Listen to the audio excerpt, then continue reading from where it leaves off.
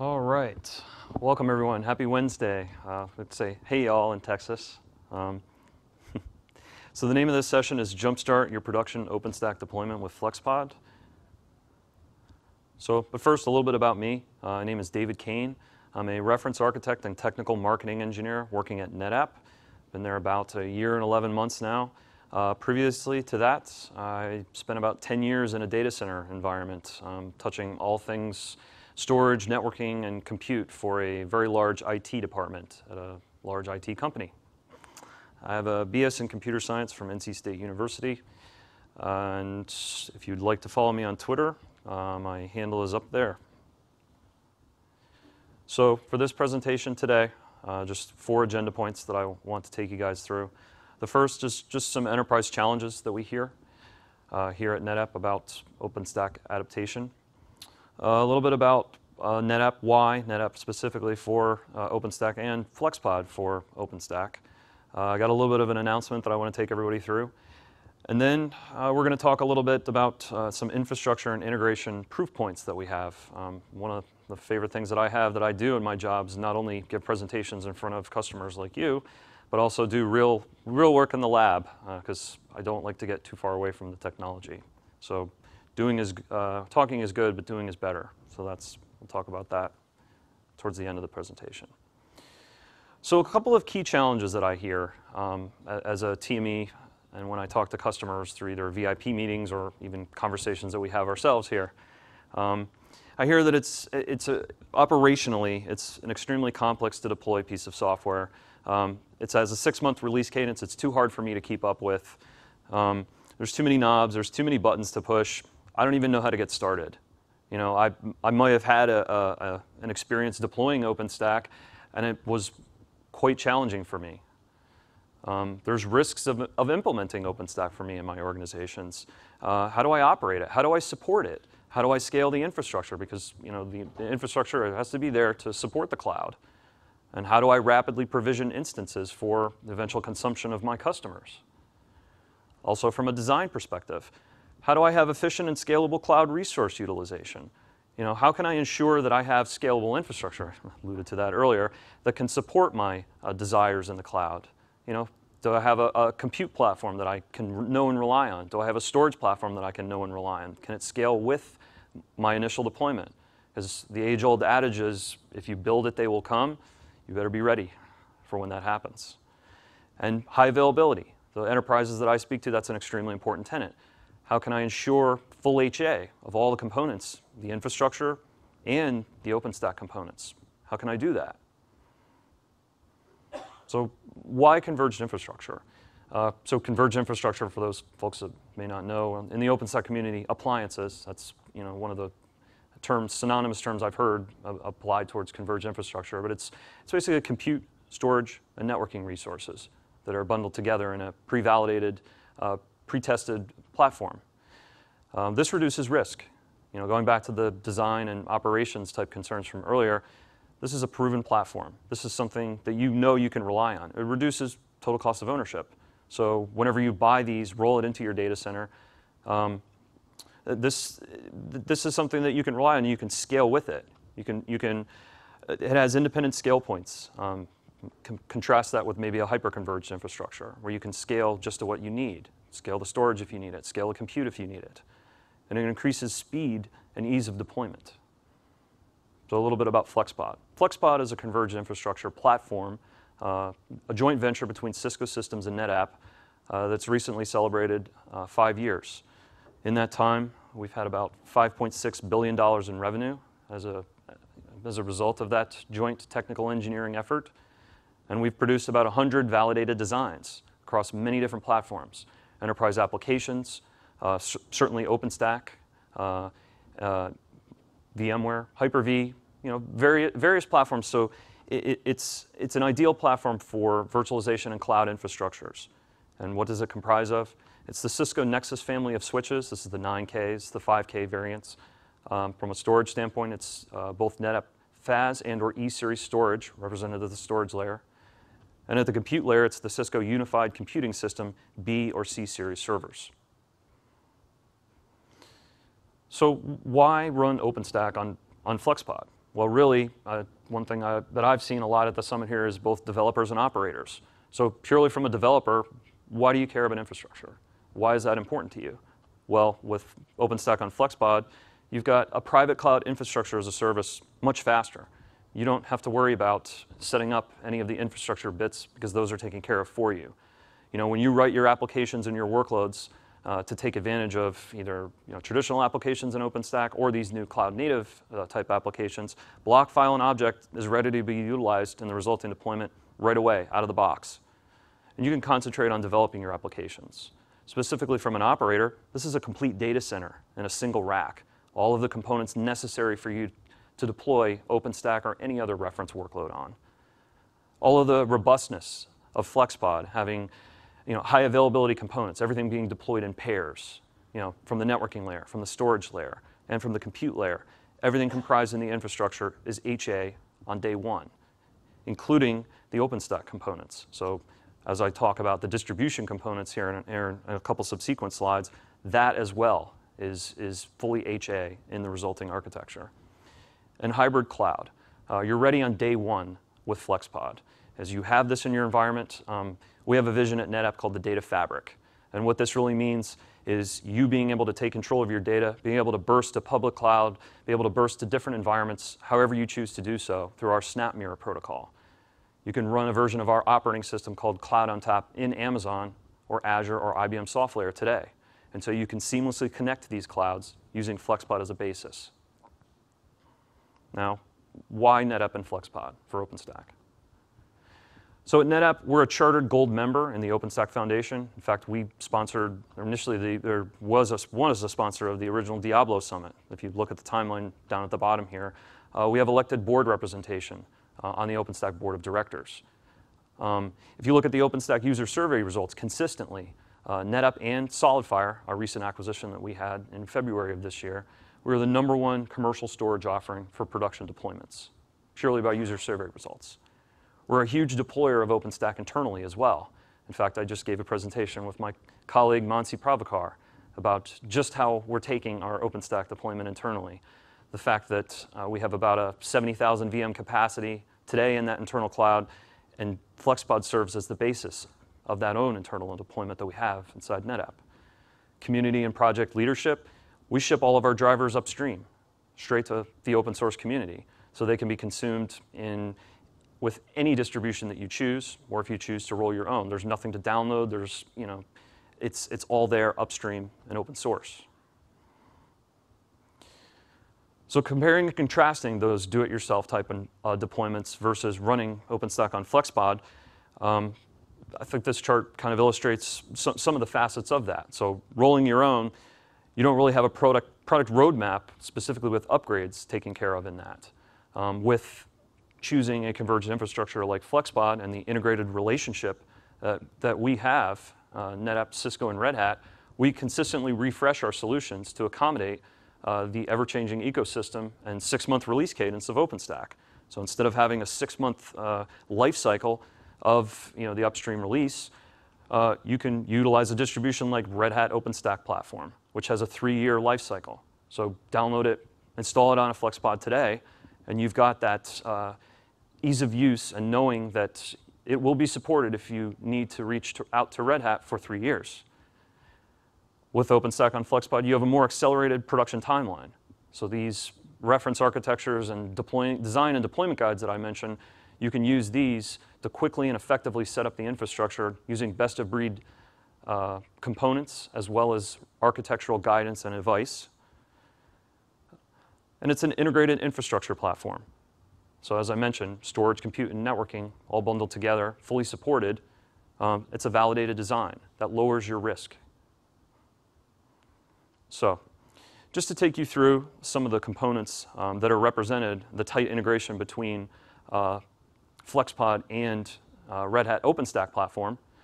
Um, from a Nova perspective, um, we can rapidly clone instances with FAS. This is a differentiated offering uh, when you consider deploying OpenStack internally, utilizing it with FlexPod. We have a lot of storage efficiency features there that really make cloning of instances very fast in the resulting cloud. And more on that and some of the proof points in a few minutes. From a glance perspective, Your image repository contains a collection of, of operating system images that you want to deploy in those resulting instances. We can turn on our storage efficiency features with our NetApp FAS platform.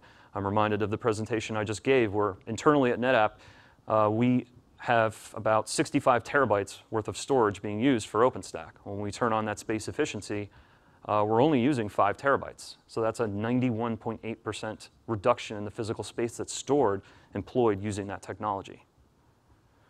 From an object storage standpoint, I mentioned that as a developer benefit. Uh, in our solution, we have our NetApp E-Series platform represented and storing uh, the Swift uh, object storage, both the objects themselves and the associated metadata on our NetApp E-Series platform. And as the sizes of disks increase, six terabytes, eight terabytes, you know, traditionally Swift with DAS, it takes a, quite a long time to rebuild those disks. Well, the rocket scientists over in the NetApp E-Series engineering came up with a uh, basically a evolved uh, RAID algorithm called dynamic disk pools technology. And that actually speeds up the rebuild times by a factor of eight. So much faster uh, in rebuilding those failed drives for the Swift Object Store implementation. Manila. We have our shared file systems as a service project uh, featured and highlighted in Red Hat OpenStack platform.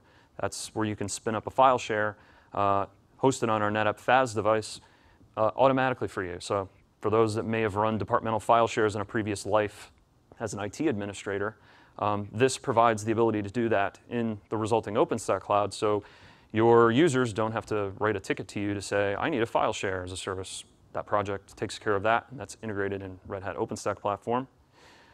From a Neutron standpoint, we feature our Nexus 1000V virtual switch from Cisco, specifically running on KVM. And that's a common pain point I hear from customers. Neutron is complicated.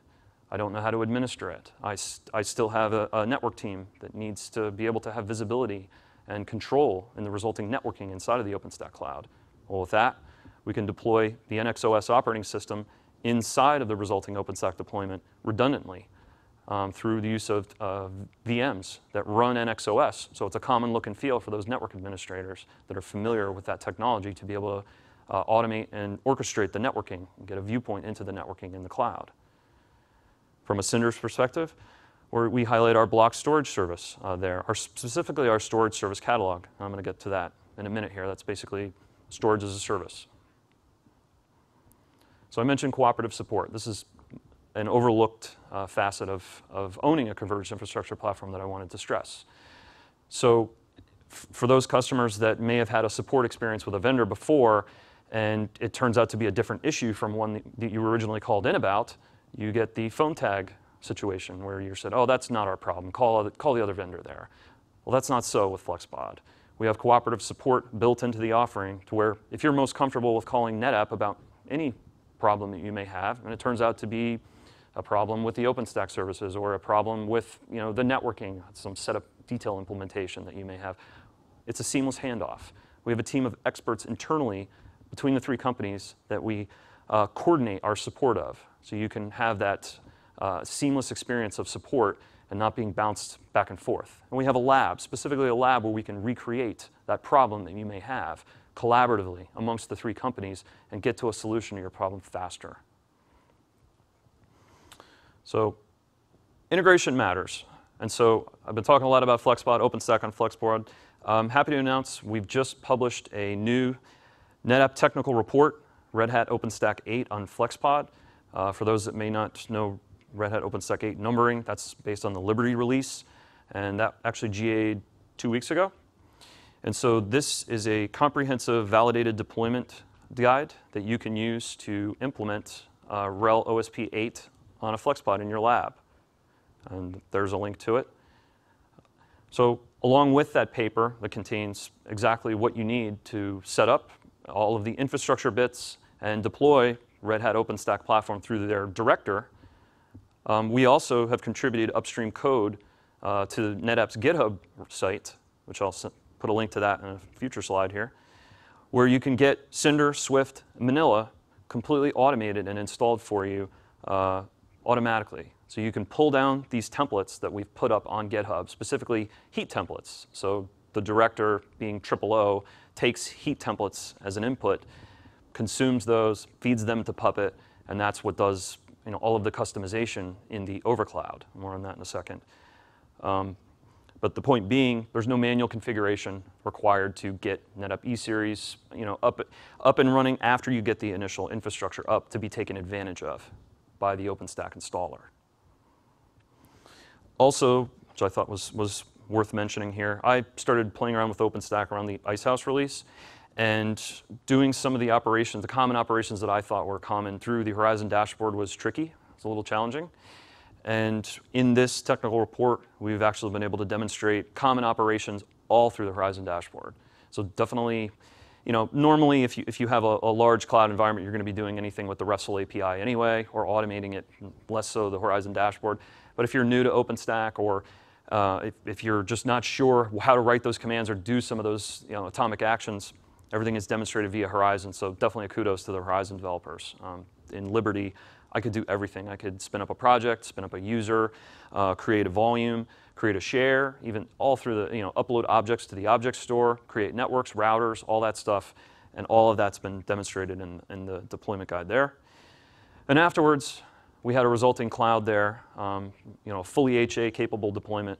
We decided, well, let's test it a little bit. So we utilized the OpenStack Rally, which is a benchmark as a service project um, written for OpenStack uh, and did some comparisons um, there, which I'll share with you in a few minutes. So specifically from a deployment perspective, I'm just going to take you through really quickly what, what that paper shows. Um, it shows you exactly how to configure all of the physical infrastructure bits, the Cisco UCS uh, servers, the Cisco Nexus networking switches, the NetApp FAS storage, the NetApp E-Series storage, all ready to go. Now, you, it, it takes you through how to deploy Red Hat's OpenStack Platform Director. So that's based on the upstream Triple O community project. Um, they used to use Foreman and OSP 6 and switched to Director in 7 and 8. Um, but really to take from that, the Director could also be called the undercloud node.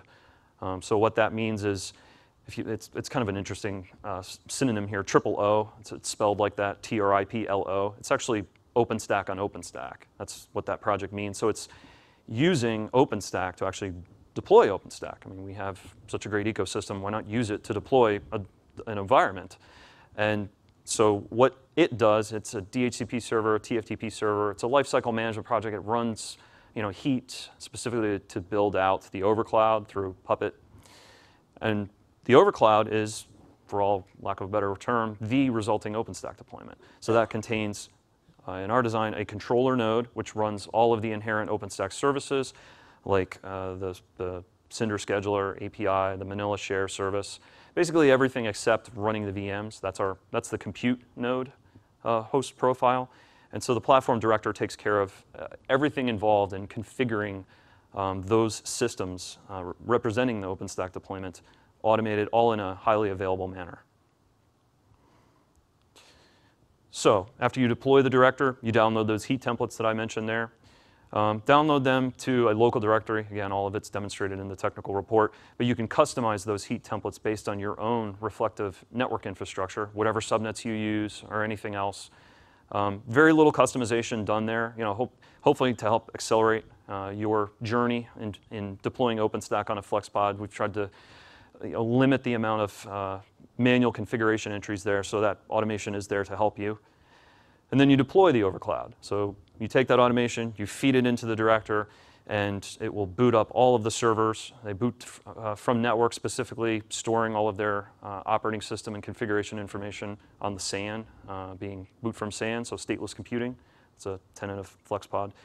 And happy to report that in our lab, a four controller, three compute host deployment took us 35 minutes with this tool. So extremely fast, ready to go, uh, ready for work. So after that, launch the post-deployment scripts uh, for the Manila project, so you can get Manila in the resulting cloud deployment. Unfortunately, uh, we couldn't take advantage of the upstream triple O heat template community uh, integration for Manila, so uh, NetApp, we were really very passionate about the Manila project, and we want customers to have the file share as a service project inside of OpenStack. Um, so we've contributed uh, shell scripts in that same GitHub repository that help you deploy Manila in an automated fashion, you know, non-disruptively, integrated into the pacemaker cluster, which is the software HA bits that comprise the OpenStack deployment automatically for you. and I just mentioned that. So Cinder using NFS as a backend by our NetApp FAS platform, Swift using iSCSI backed by NetApp E-Series, and Manila are all configured automatically for you. So you don't have to do anything in the resulting deployment. Now, along with uh, the paper, I just want to bring up a couple things. I mentioned these at one of my last sessions. Um, one of the things that's, that's differentiating with utilizing NetApp storage um, in a resulting OpenStack deployment is something that we call our storage service catalog. And what that really means is you can define volume types or share types. So go back to Cinder that has the volume type capability, or with Manila it has the share type capability. You can define you know, classes of service based on those underlying storage features that you want to surface up to the tenants that utilize services in OpenStack. Uh, so really that's storage as a service. So by default, Cinder, the scheduler, will round robin through uh, a selection algorithm, basically, which backend has the most space. Well, that's not really helpful if you want to surface enterprise class features to the tenants to make sure that their Cinder volumes or their Manila share types land on specific volumes that have uh, like solid state disks or have space efficiency features enabled on it. Um, so what does that look like? So what we can do with that capability is actually uh, define where those volumes will end up. So take, take it from a you know, perspective of instead of the silver, gold, bronze moniker that we, that we refer to in classes of service, maybe think of it more as aligning your uh, workloads or aligning your volumes to actual workloads. Like say you have a dev test use case where you want to make sure that thin provisioning, compression, you know, encryption are enabled on the underlying storage volume that encompasses those Cinder volumes. Well, you can do that through the Cinder uh, volume types, and you associate extra specs with it. So our unified Cinder driver, as it runs, the Cinder scheduler will pull through the available backends and actually pick up statistics, these extra specs, like this volume that's exposed to OpenStack services, it's got thin provisioning enabled, or it's backed by SATA disks, or SATA, or, you know, or solid state disks. That's reported up through the scheduler, and now uh, when you define those storage types and you align those extra specs to them, your volumes will pick and, and successfully through the scheduler go on the right storage backend based on what you desire there. So if you're a service provider or an enterprise customer where you uh, provide you know, chargeback services to your respective organizations, you can effectively bill based on intent. So chargeback meets intent. So you can align those workloads, whatever they may be, with those underlying uh, enterprise class feature sets that our customers uh, know and expect out of having you know, enterprise class storage in an OpenStack environment. So specifically, if there's another use case here, VDI, you can have, we have data protection enabled on that, deduplication. So you just, you set those extra specs uh, on the volume type and the scheduler will pick out intelligent placement to ensure that those volumes or those shares uh, land on the right place for that storage. So just a couple more examples here. So another thing that's differentiating uh, with, with having NetApp as the backend for your storage is rapidly provisioning uh, and uh, instances that are both provisioned quickly and efficient on the amount of space utilization that they consume. So, you know, from a glance image store back to a Cinder volume perspective, um, we at NetApp have, have had many years and great technology with our snapshotting technology. So pairing our storage platform and our unified Cinder driver together enables uh, a feature called enhanced instance creation. So really what does that mean? That means in your resulting OpenStack deployment with the NetApp Unified Cinder driver automatically employed in tandem with our storage platform, uh, you can get rapid in-time copies of instances that utilize our FlexClone technology. So in the lab, uh, so what FlexClone, what FlexClone really means is employing snapshots to really clone those images out based on like a dev test user case, use case that we mentioned earlier. So if you need to spin up 100 instances rapidly from the same glance image, we can do that automatically or quickly with our FlexClone technology. So rapid persistent instance creation through those Cinder volumes that uh, underlie those, uh, those instances. Also, as I mentioned, the space efficiency associated with having our, the glance image store have uh, deduplication technology enabled on it. Um, certainly we've seen up to a 90% uh, reduction in the amount of physical space that's used uh, for those resulting deployments. And as I mentioned earlier about our own internal deployment, we see about a 92% savings. And that's not just OpenStack. That's other platforms like VMware, Hyper-V, and that's not just a best case lab thing. That's what we see in the field too. Okay. Enough talk. Enough talk. Uh, you know, talk is great, but doing is better. That's one of my colleagues used to tell me that all the time. So as I said, uh, after the resulting deployment was done, we decided to employ the OpenStack Rally benchmark as a service project uh, to see just exactly how our cloud performs. And so we took Rally and we configured it to have a 35 concurrency. So for those that are not familiar with Rally, what that means is at any one point in time, there's 35 concurrent requests happening on the OpenStack control plane. So we're, we are effectively stressing the control plane in OpenStack because if there's no control plane, there's no users that can be able to do anything with any of the services in OpenStack. So why not build that into the pipeline there and do that as a portion of this test? So we started off by saying, why don't we create 2,000 instances? And again, in our deployment it was four compute nodes and three controllers. So we spun up, uh, we put a flavor, um, the flavor itself, one vCPU, 256 megs of RAM, and 60 gigs of physical disk space. Uh, we uploaded to Glance the Fedora Core 23 image, you know, versus a standard CRS, which may not be able to do very much. So this is a real live image. And we launched uh, a Rally job right there. And part of, the, part of the thing that we wanted to do here was compare and contrast utilizing maybe the generic NFS Cinder driver versus the NetApp NFS Cinder driver in the resulting deployment. Um, this will tell us just all the integrations that I mentioned earlier about the enhanced instance creation, the space efficiency, Let's see if that's really true. So with the generic NFS Cinder driver, to create those 2,000 persistent instances, so that's creating 2,000 persistent volumes, booting them, and then deleting them afterwards. So how much time did that take? Well, in our lab, it took us about 68 minutes. So we flipped the switch, we turned on the NetApp NFS Cinder driver, and it took us 20 minutes. So that's a reduction in time of almost 70%. Um, what about how much space those images took up? So again, let's talk about the generic Cinder driver first. You know, Fedora Core 23, I believe, is 200, 200 gig, some, something like that. Um, we looked at the amount of space that uh, utilizing the generic NFS Cinder driver. So again, the Rally atomic task, creating those volumes, how much space did that take up? Well, it took us, you know, almost 1.2 terabytes. What about the NetApp Unified Cinder driver? 42.9. It was amazing. It was a, a 99% less physical space allocation for those 2,000 instances, with the difference of using the NetApp Unified Cinder driver versus the generic one. And I think that goes back to what I was saying earlier about the snapshotting capabilities and the flex cloning. If we flex clone 2,000 instances from an image in Glance, there's really not that much difference in data from that original image, so we don't have to store that information on disk. So we don't have to. And so that's that's, that's a testament to that technology being employed in an OpenStack environment. Okay, that was interesting.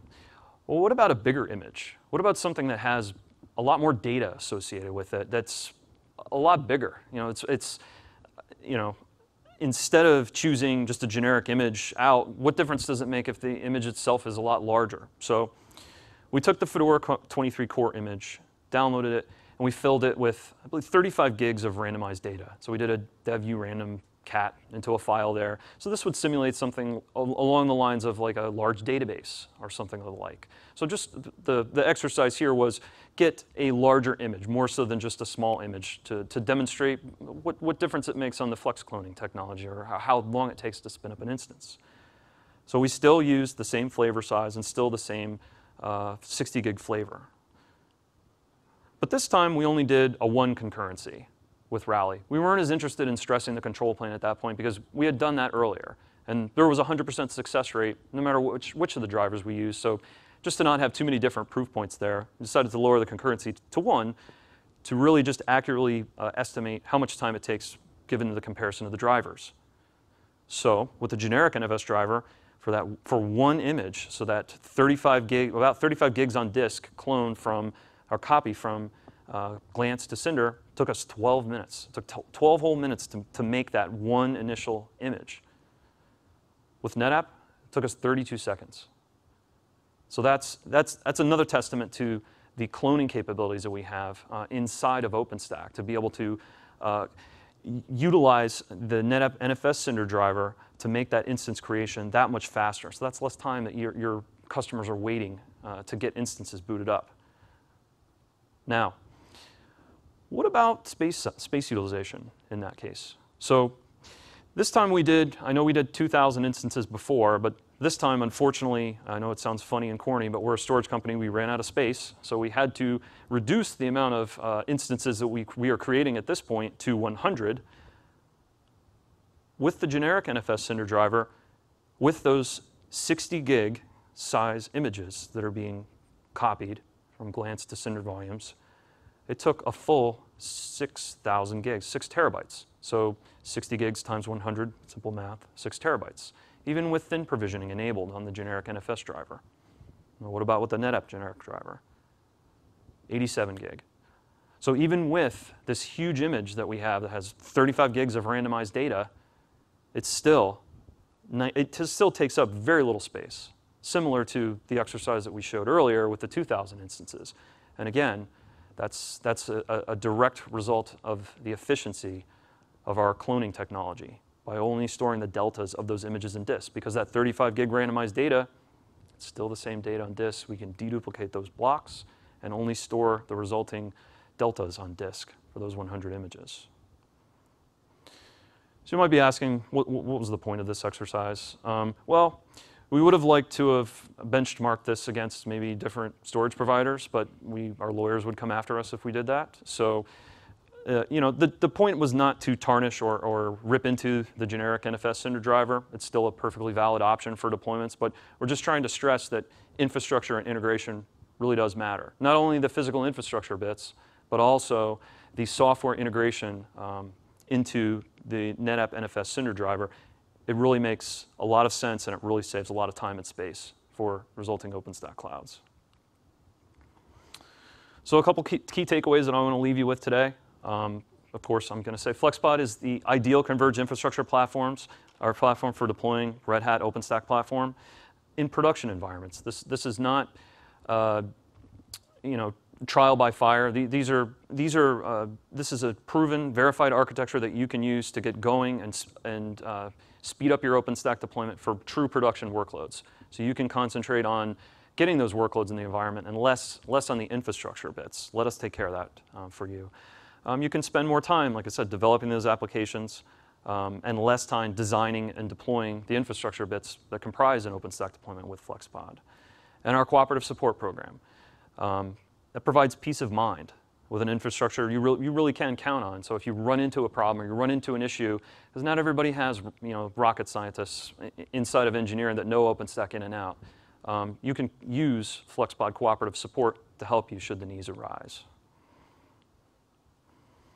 So a couple of resources that I want to leave you with too. Um, that TR, that's the same link that I published to earlier. That was uh, that, that's a 150-page document that ho hopefully is, is useful for your respective deployments.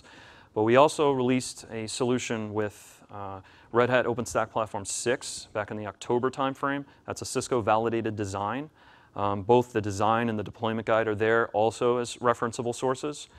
Uh, but also if you just want something that's maybe a little bit more introductory uh, rather than, I know the deployment guide is, is quite lengthy and long, uh, you can download this solution brief here. So that's just, just a four-page quick introduction that hopefully uh, summarizes a lot of the uh, integration and pieces that I mentioned here today of, as to why FlexPod is, is an ideal uh, converged infrastructure platform for OpenStack. Uh, you can definitely follow us uh, for all things OpenStack at NetApp at the Twitter handle OpenStackNetApp.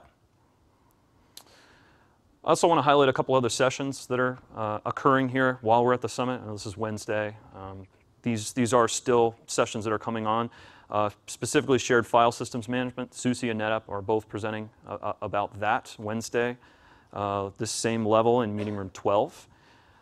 Um, the Open Container Initiative and the Kuryr projects and the, the CNCF, IBM and NetApp are co-presenting on that integration Thursday, 9.50 to 10.30. And we have another session uh, with, specifically led by NetApp where uh, we can use uh, Mang- the Magnum project, which is the container project in OpenStack, to do big data rapid prototyping. Um, that's Thursday at 11 o'clock.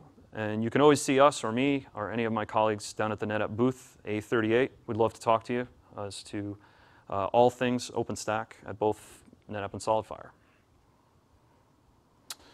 And you can, as I said, you can always visit us at netapp.github.io. There's all kinds of great uh, distribution agnostic information as to enabling you know, NetApp storage uh, with OpenStack that you can use. It has you know, uh, very good documentation. That's, that's a one-stop shop for that stuff.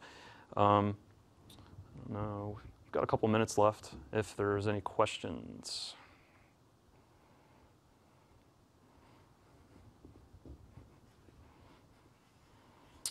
All right, I'll be available here afterwards. I did bring some printouts from our booth that list all of the sessions that NetApp and SolidFire have done or will do at the summit. Encourage you to take one, be happy to give you one. Even if you wanted to watch some of the videos that may have already occurred, they're all up on YouTube and freely available.